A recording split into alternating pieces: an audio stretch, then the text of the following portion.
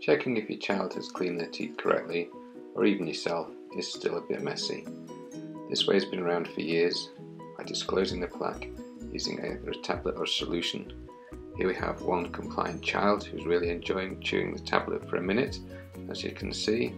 So you should rub the tongue around the outside and inside of all his teeth.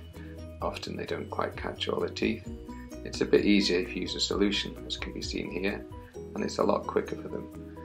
But after they've completed, you have a quick rinse and you have a look and where it's blue, it means they've been missing a while, pink, just the last 12 hours. And really, you just need to have a good look around the mouth with them and also you can use a little mirror here and you can either take a photo or take a score, whatever you prefer, but just make the whole process fun. Afterwards, they clean the teeth for two minutes using this uh, obviously quite a modified bass technique as we can see. But in the end of the day, at this age, we just want them to get all the blue off their teeth. And this is the result after two minutes. Even a child can do it.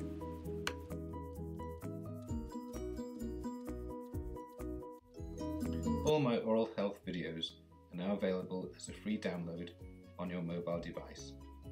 Download the free Teeth for Life app and press Squeeze Me to see how it can help save time and money for you and your family. Alternatively, look at the video links here and please press the subscribe button to help improve oral health for everyone.